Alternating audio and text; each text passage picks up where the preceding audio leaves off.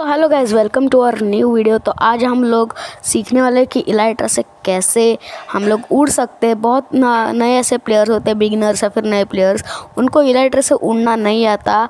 And हम इस में कोई मशीन वशीन नहीं बनाने वाले। हम डायरेक्ट ग्राउंड से उड़ के दिखाएँगे। तो चलो चलते हैं। उड़ने के लिए मेन होता है अपना इलाइट्रा अगर इलाइट्रा ही होगा तो उड़ोगे कैसे? और इलाइट्रा के बाद अपने मेन होते हैं रॉकेट्स रॉकेट्स तो मेरे पास पड़े हुए हैं। होने के बाद आपको एक माउंटेन के टॉप पर आ जाना है और वहाँ पे आके आपको जंप डाल देनी है। उसके बाद आपको जंप का बटन प्रेस करना है। एक बार करो फिर दो बार करो, होने वाला तो है।